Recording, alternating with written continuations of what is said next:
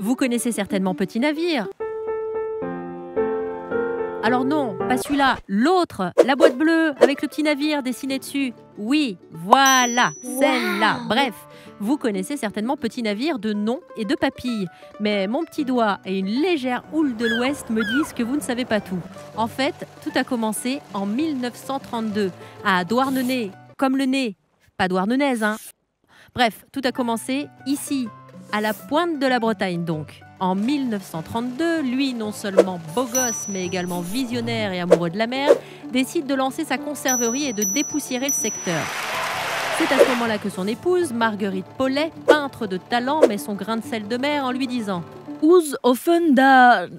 Bon, bref, en gros, elle lui dit Écoute, Polo, ça tombe plutôt bien. Tu montes ta conserverie, je sais peindre, on s'entend bien, et si je te faisais un petit logo? Lui, bien sûr, il lui dit. Oh ouais. Et du coup, hop, tadam. C'est ainsi que naît la célèbre chaloupe sardinière à voile voguant sous le vol des goélands. Grosso modo, c'est de là que vient le petit navire que vous voyez sur la boîte Petit Navire, celui qu'on voit là, là ou encore là. Ça y est, le ton est donné. À partir de là, Petit Navire grandit super vite et devient un modèle de modernité pour l'époque et même un exemple pour toute l'industrie.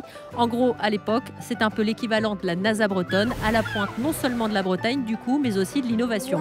Et ce qui est bien, c'est qu'aujourd'hui encore, Petit Navire met le paquet et tout son savoir-faire historique pour qu'on profite toutes et tous des bienfaits de la mer. Et ça passe par quoi? Par tout un tas de trucs agréables à déguster pour tous les goûts. Des bonnes recettes ensoleillées, type salade, thon mariné au citron, au basilic ou bien aux tomates séchées avec du thon déjà émietté parce que c'est quand même vachement plus pratique. Ça passe aussi par nos tartinades du genre tip top pour les apéros. Bref, c'est bon et bon grâce à tout un tas de personnes dont Marguerite et Paul-Édouard seraient pas mal fiers aujourd'hui, comme elle par exemple. Allez, Calonne d'Igor